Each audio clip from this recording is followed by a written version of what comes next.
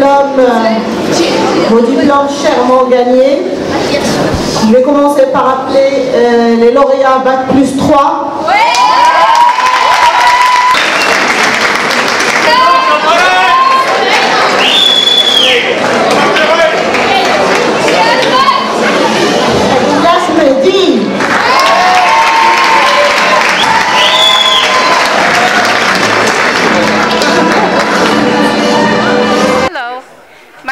Stephanie Miley. I'm the Chargé d'Affaires for the U.S. mission to Morocco. That includes our embassy in Rabat as well as our consulate in Casablanca.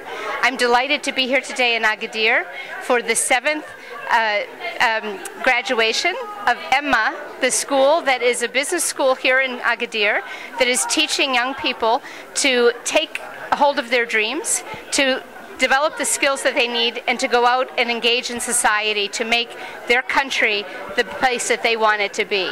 This is the dream of Tariq Lafou. He is a, a, a well-known leader in the community. This was his dream to have a no matter what their economic abilities were, could come and could learn. And just today, they also signed, Emma signed an agreement with Concordia University in the United States. Concordia College and Emma are going to embark on a program to bring an American university for Agadir. We're delighted to be here. The United States mission to Morocco has cooperated and collaborated with Emma over the course of years in a number of projects, and we very much support its image and its uh, mission of education, of service to uh, country and to society, and, and uh, also to those students who are, want to learn but may not have the economic means to. So it's a wonderful day to be here. Agadir is a great city. Agadir has wonderful uh, institutions for edu- higher education, including Ibn Zur, Emma, and soon, of course, the American University in Agadir. So thank you very much. دكتور طارق العفو آه، مدير المؤسسه ايما بيزنس سكول اليوم كان في التخرج الفوج السابع ديال المدرسة بترأس السيدة السفيرة بالنيابة ستيفانيا مايلي السفارة الأمريكية في في- الرباط وفي l'événement كان واحد la signature ديال واحد la convention مع جامعه كونكورديا college في نيويورك اللي حضر فيها نائب الرئيس آه، جيم بيركي. وكان عندنا نفس الوقت باش اعلنا على تأسيس الجامعة الأمريكية في أكادير اللي تبدأ في 2020 إن شاء الله. البناية ديالها دي تكون حدا في الحي المحمدي حدا حدا الملعب الكبير. الجامعة الأمريكية لأكادير. الجامعة الأمريكية باش الدراسات تعرفوا في أمريكا غالية بزاف. سنحاول درنا معهم واحد ال programme مشترك باش الناس يقراو عامين هنا ويقراو العام في أمريكا باش يجيو عام تكون في المتناول ديال بعض التل- التلاميذ اللي بغاو يقراو عام في أمريكا. باش يديروا سنه بلاصة ما يمشيو ثلاث سنين ولا أربع سنين. donc يقراو عام هنا عندنا. ومشيو عام وقبطوا ديبلوم مغربي ديال ليما ويقبطوا ديبلوم ديال أمريكي ديال جامعة كونكورديا. عميدة الطلبة في مؤسسة إيما بزنس سكول مدرسة ديال التسيير وتدبير الأعمال. آه، مع مع كان عندنا اليوم حفل تخرج ديال الفوج السابع بحضور آه، رئيس الجامعة أستاذ دكتور عمر حلي.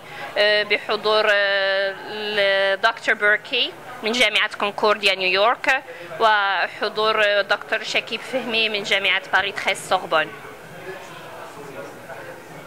الاتفاقيه مضامين الاتفاقية مضامين الاتفاقية باش نحلوا فرص للشباب surtout في جهة سوس نعطيهم فرصة باش يكملوا الدراسات ديالهم بالولايات المتحدة وفرنسا ويقدروا يقراو في كاين des programmes ديال 2 plus 1 2 plus 2 باش يبداو الدراسة ديالهم في مؤسسة إيما ويتموا الدراسات ديالهم الأخرى في الولايات المتحدة أو فرنسا باش يحصلوا على double diplomation نحلوا لهم آفاق أخرى.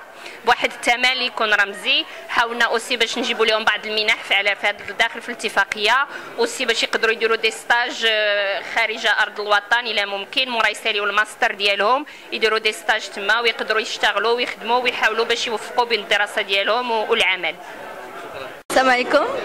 سميت اسم ديالي فاطمة الزهراء بوشلكا آه، خديت la licence ديالي في gestion d'entreprise وراني فرحانة وكنشكر من هذا المنبر آه، ال boss président monsieur طارق العفو وكنشكر staff ديال إيما. وكنشكر آه، يعني هم آه، l'école آه، كلها. ايوا وأنا فرحانة بزاف. وكنهدي هذا التخرج ديالي الأم ديالي والابن ديالي.